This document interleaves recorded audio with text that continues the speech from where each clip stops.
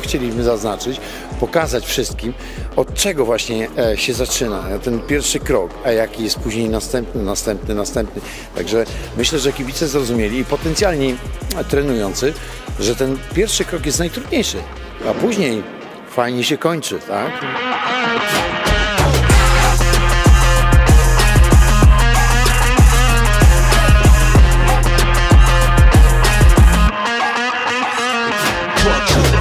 Wszystko było, bo był knockdown, były piękne lewe, piękne prawe, fajnie trzymana garda, były pojedynki, których w zasadzie nie, nie można się wstydzić. Tak, tak. Mieliśmy tu całą eskapadę pokazu bokserskiego.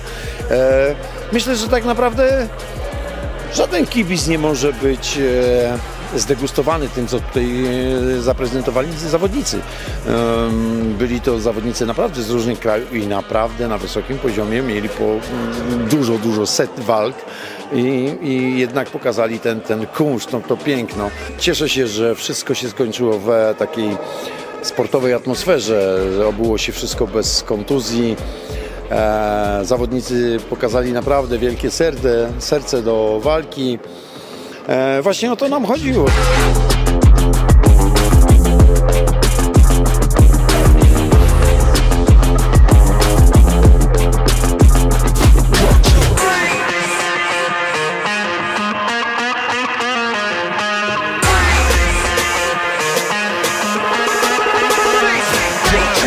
Ja jestem bardzo dumny z tego, że Krzysiek już od e, kilku lat cyklicznie przyjeżdża na organizowane przeze mnie imprezy. Naprawdę przywozi zespół the best, dopracowany.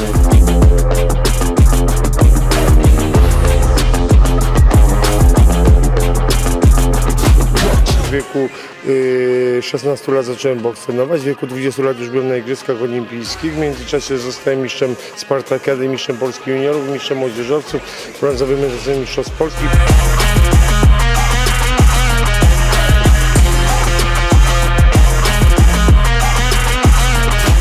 Dla mnie to jest wielka przyjemność i zaszczyt gościć tutaj i tym bardziej jestem zadowolony, że moi dwaj zawodnicy wygrali swoje walki. Jeden z nich został najlepszym zawodnikiem całego turnieju. Mało tego, jeszcze miałem przyjemność sekundować synowi. Myślę, że mały wkładzik, małą cegiełkę miałem w to, że udało mu się Dokładnie. zwyciężyć walkę z tym ze swoim przeciwnikiem.